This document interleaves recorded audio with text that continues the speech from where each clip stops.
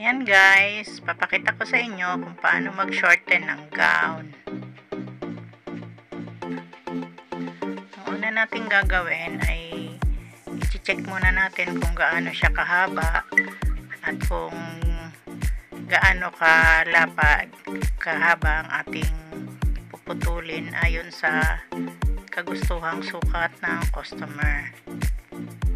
So, after that, ilalapag na natin siya sa mesang tabasan at doon naman natin susukatin yung desired na desired ng customer na babawasin sa kanyang damit kung gaano kahaba.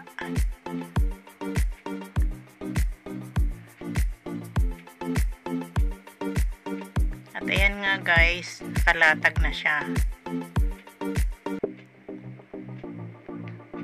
So, susukatin na natin kung ilan ang kailangang ibawas dyan. Dito sa ating damit, ay magbabawas tayo ng 8 inches. Siyempre, magsusukat tayo hindi eksaktong 8 inches kasi lalagyan din natin ng allowance ng tahe. At saka, meron kasi itong nakakabit na nylon sa baba. So, itatansya natin din kung gaano kalaki ang maiiwan for allowance. Ayan, ang bawas nga pala natin dyan ay hindi siya pantayan. Medyo maikli lang ang binawas sa harapan. Tapos yung likod mahaba kasi mahaba yung del niya. Ayaw nung customer na masyadong mahaba kasi pag nasa party sila magsasayawan, may tendency na maapakan yung kanyang del sa sobrang haba. Kaya, konti lang ang binawas natin sa harap, sa likod, medyo malaki.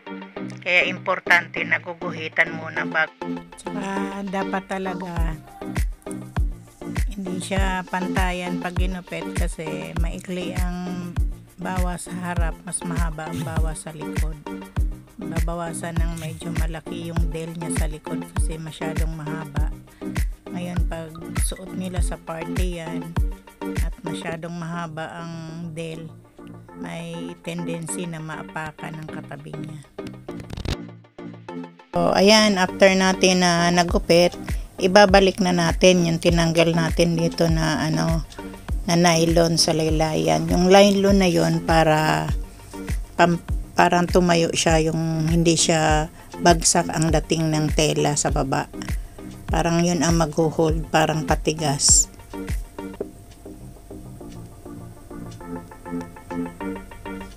Para bumuka yung damit.